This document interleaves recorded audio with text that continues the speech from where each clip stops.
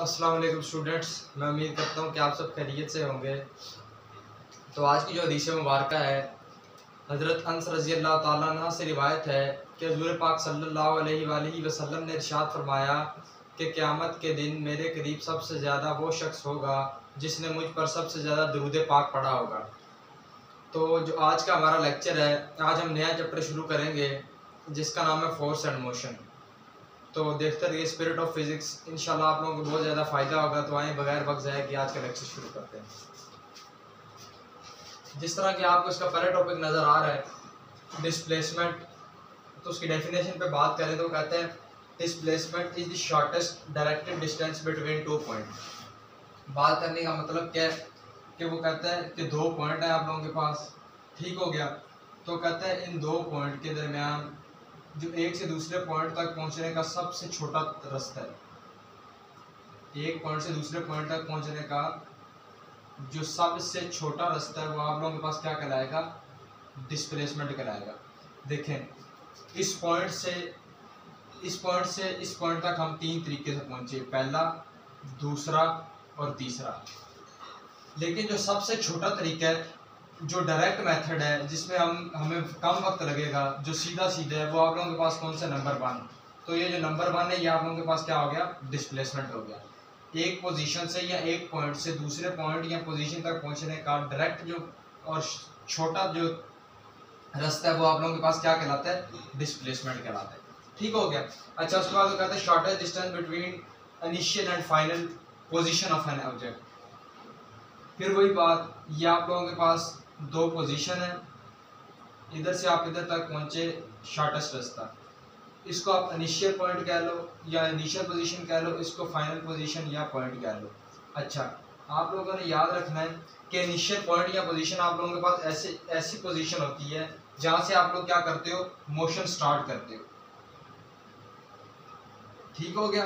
Initial point या position ऐसा point या पोजीशन होती है जहाँ से आप लोग मोशन स्टार्ट करते हो। और फाइनल पोजीशन क्या होती है? जहाँ पे मोशन आपका क्या करते जाके स्टॉप कर देते ठीक हो गया। इनिशियल पॉइंट या पोजीशन क्या आती है? आप लोगों के पास वो पॉइंट जहाँ से आप मोशन स्टार्ट करते हो और फाइनल पोजीशन या पॉइंट क्या होता है? जहाँ पे आप लोग क्या करते हो? मोशन जाके स्टॉप कर देते हो। ठीक हो गया। नीचे आपको मिसाल दी है मिसाल में वो आप लोगों को बता रहा है। वो कहते हैं, आप लोगों के पास दो गाड़ियाँ ठीक हो गया। एक है आप लोगों के पास ए और एक गाड़ी आप लोगों के पास क्या है? बी। ठीक है? ए गाड़ी और बी गाड़ी। दोनों क्या करती हैं? दोनों ने ये सिटी वन है। सिटी वन से किधर एंटर होना? सिटी टू के अंदर। इसको सिटी टू कह दो। ठीक है? सिटी वन से सिटी टू के अंदर एंटर होना। है अगर तो ये गाड़ियाँ क्या करती हैं? इधर तक पहुँचने के दो रास्ते हैं। इस गाड़ी के लिए ये है, इस गाड़ी के लिए ये है। ठीक है, और दूसरा रास्ता क्या है? इस गाड़ी के लिए दूसरा रास्ता ये सिटी में एंटर होने का, इस गाड़ी के लिए ये है।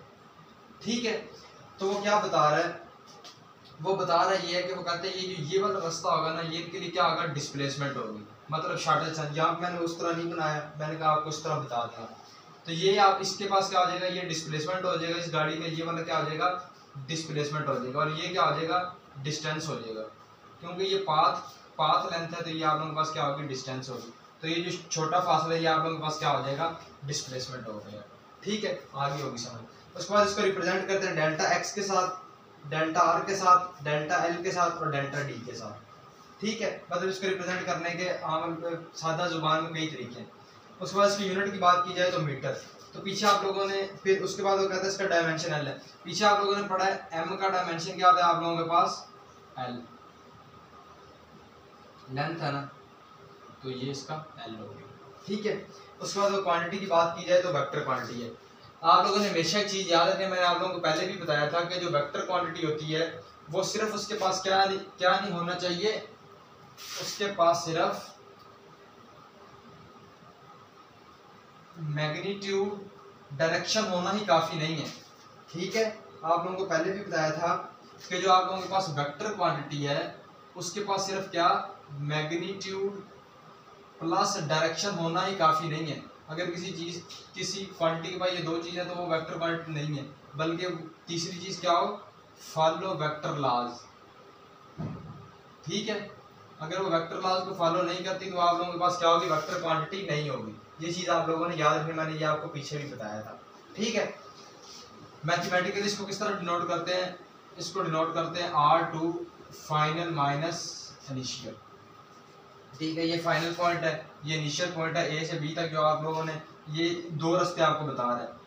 ए से बी आप एक डायरेक्ट मेथड से पहुँचे और ए से बी आप एक इस मेथड से पहुँचे। ठीक है तो ये सी तीसरा पॉइंट दिया हुआ ठीक है तो कहते हैं जो शॉर्टेज डिस्टेंस है, वो तो यही बनता है ना ए से बी तो ये आप लोगों के पास क्या होगी? डिस्प्लेसमेंट होगी। और इसका जो मैथमेटिकल फॉर्म है आर टू मतलब फाइनल पोजीशन में से या फाइनल पॉइंट में से इनिशियल पॉइंट को आप लोगों ने माइनस किया तो आप लोगों के पास डिस्प्लेसमेंट आ गई। ठीक है? अच्छा वो उसके बाद वो कहता है कि ये आप लोगों के पास क्या हो सकती है? ज़ीरो भी हो सकती है। ज़ीरो किस तरह हो सकती है? फ़र्ज़ करो ये आप लोगों के पास इनिशियल पॉइंट है और यही आप लोगों के पास क्या फाइनल पॉइंट है। ठीक है मतलब आप गए, फिर वापस आ गए। यही इनिशियल पॉइंट था यही फाइनल पॉइंट था। तो जो R two minus R one है मतलब आपने चार किलोमीटर का फासला तय किया फिर वापस वापस उधर ही आगे फिर चार का किया तो ये आप लोगों के पास क्या आ गया? ज़ीरो वेक्टर ठीक है जो आप लोगों के पास डिस्प्लेसमेंट आ गया वो क्या आ गया? ज़ीरो वेक्टर ठीक हो गया कि मतलब जितना आपने फासला तय किया था फ़र्ज़ करो ये इनिशियल पॉइंट है इधर से आप इस तरह गए इधर से इस तरह इधर वापस आ गए। ठीक हो गया इधर वापस आ गए। ठीक है, जब इधर आप लोग वापस आए तो मतलब ये आप लोगों के पास ए पॉइंट था, ठीक है ए से आप दोबारा ए भी वापस आ गए। ठीक है तो जो आप लोगों के पास डिस्प्लेसमेंट होगा, वो क्या होगा? माइनस ए तो ये आप लोगों के पास क्या हो गया? ज़ीरो ठीक हो गया।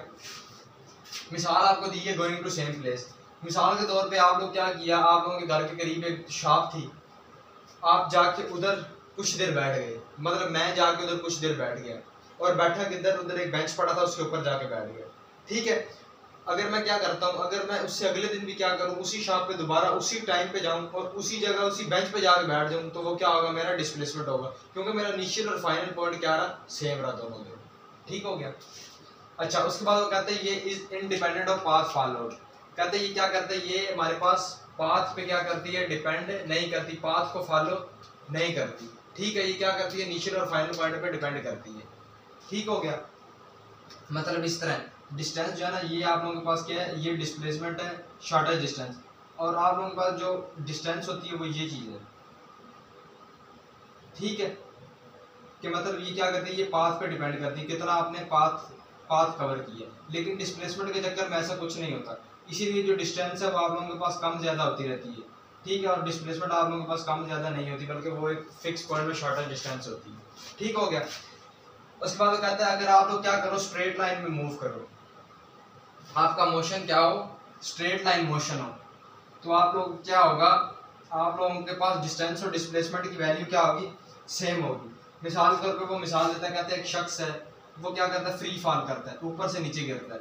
ठीक है? जब ऊपर से नीचे गिरेगा तो क्या होगा उसकी डिस्टेंस प्लस डिस्प्लेसमेंट दोनों क्या होंगे आप लोगों के पास? सेम होंगी। सेम किस तरह होगी? क्योंकि क्या कर रहा है? वो एक स्ट्रेट लाइन मोशन कर रहा है। उसके अंदर आप लोग क्या कर सकते हो? जिस, वो एक ही एक ही पाथ एक ही पाथ फॉलो कर रहे हैं। उधर डिस्टेंस किसके बराबर होगी? डिस्प्लेसमेंट के बराबर हो जाएगी ठीक है? इसी तरह इसकी एक और मिसाल देख लो। कि आप लोगों के पास एक नदी है?